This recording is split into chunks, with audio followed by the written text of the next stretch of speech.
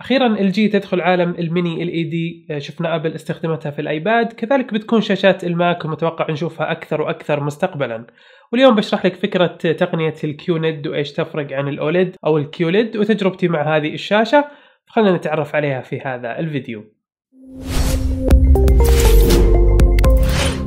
السلام عليكم ورحمة الله وبركاته، هلا والله وسهلا وحياكم الله في فيديو جديد معنا عبد الله الغفيص. واليوم بتكلم عن تلفزيون ال جي ال QNED ال Mini LED سلسلة التسعين. واللي عندي هنا اللي هو حجم ال 75 بوصة، والأهم بنشرح فكرة تقنية ال QNED اللي هي عبارة عن Mini LED وإيش تفرق عن ال QLED كذلك ال OLED. لكن كالعادة قبل تكمل الفيديو اشترك بالقناة لو كنت غير مشترك فعل جرس التنبيهات وانشر هذا الفيديو في كل مكان ولكل من تعتقد إنه بفيده هالشيء يساعدنا ويحمسنا نصنع محتوى أكثر وبسم الله نبدأ.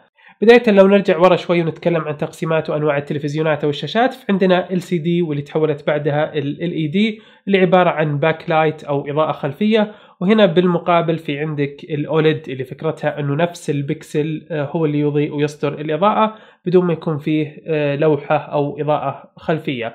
طبعا التفوق كان لصالح ال OLED بحكم أنها تعطيك ألوان مشبعة كذلك لون أسود تماما يعني أسود أسود لأن لما ما يكون فيه مثلا محتوى في مكان معين من الشاشة فيطفى البكسل نفسه وتحصل على لون أسود 100% كذلك شفنا ال QLED من سامسونج واللي تعتمد على تقنية ال Quantum Dot اللي فكرتها إنها تحول الإضاءة الخلفية أو ال backlight إلى أجزاء صغيرة وتشتغل في مناطق معينة حسب الحاجة بحيث إنها تعطيك ألوان أفضل لكن لا زالت إنها تعتمد على إضاءات ال LED واكيد ال OLED كانت أفضل منها من ناحية اللون الأسود كذلك من ناحية التشبع. طيب الآن خلينا نجي لل QNED اللي معنا اليوم واللي هي تعتمد على تقنية ال Mini LED اللي هي Quantum Dot لكن مطورة أكثر بحيث إنه إضاءات ال LED نفسها صارت أصغر بكثير من ال QLED وصارت تقريبا بحجم البكسل.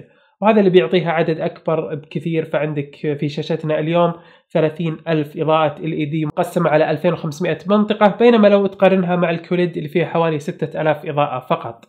فتقريبا أخذت نفس تقنية ال Quantum Dot ولكن تعطيك حجم صغير مثل ال OLED يعني خلينا نقول إنها بين ال OLED وبين ال QLED وهذا يعني إنه لما يكون في إضاءة بتشتغل على أجزاء أصغر بكثير وتعطيك ألوان أفضل ولون أسود أفضل من شاشات ال LED المعروفة. طبعا LG هنا ادمجت بين تقنيات ال Quantum Dot وال NanoCell مع ال Mini LED وصار عندنا ال QNED فبتعطيك سطوع أفضل وكذلك الألوان بتكون أفضل.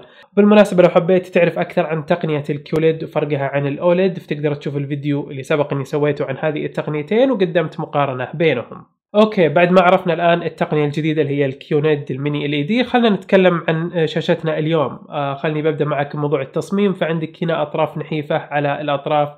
كذلك الجسم بشكل عام نحيف. أما من ناحية النظام فهو نفس نظام LG ال webOS وشخصيا مبسوط منه من ناحية التطبيقات. كذلك المزايا وأيضا الذكاء الاصطناعي أو مزايا الذكاء الاصطناعي الموجودة فيه والربط مع المنزل الذكي وتقنيات محسنة للصوت وكذلك الصورة واللي تقدر تتحكم فيها بشكل كامل من الإعدادات.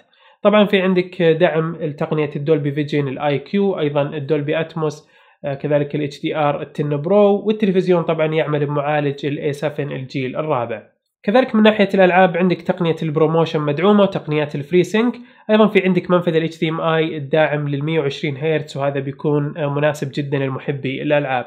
طبعا لو نتكلم عن المنافذ فعندك أربع منافذ HDMI اثنين منها 2.1 واثنين 2.0 أيضا في عندك منفذين ال USB وفيه ال optical ال digital audio out ومنفذ ال headphone وتقريبا أغلب المنافذ مدعومة كذلك البلوتوث والواي فاي وزوايا الرؤية ممتازة ونفس الألوان ما راح تتغير عليك من كل الزوايا. أيضا السطوع فيها ممتاز وهذا الشيء اللي يعجبني فيها فأعطتني سطوع ال QLED وألوان قريبة جدا من ال OLED.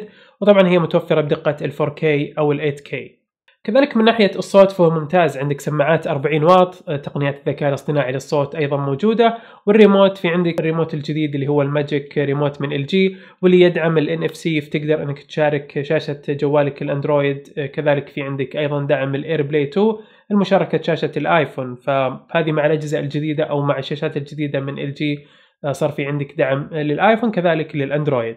أما من ناحية وجهة نظري الشخصية فأشوف إن ال QNED ممتازة بشكل عام قدمت وضوح تشبع للألوان ممتاز.